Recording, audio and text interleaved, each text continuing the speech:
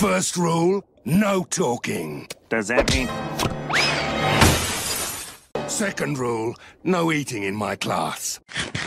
What? No eating in my classroom! Rule number three no mewing. What?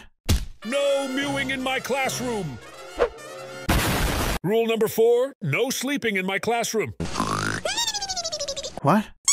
No sleeping in my classroom. Rule number five no giant in my class. I put a new 40s on the G. What? Rule number six no break in my class. Can I take a break? Go back to work. Rule number seven no students in my class. Wait, what? No.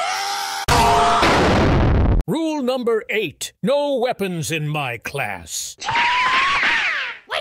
Wait, what? I said no weapons in my class. Rule number nine no fighting in my class. What? Wait, wait, wait, wait, wait! No, no, no, no, no, no, no! Wait, wait, wait, wait, wait! Rule number ten No teacher in our class.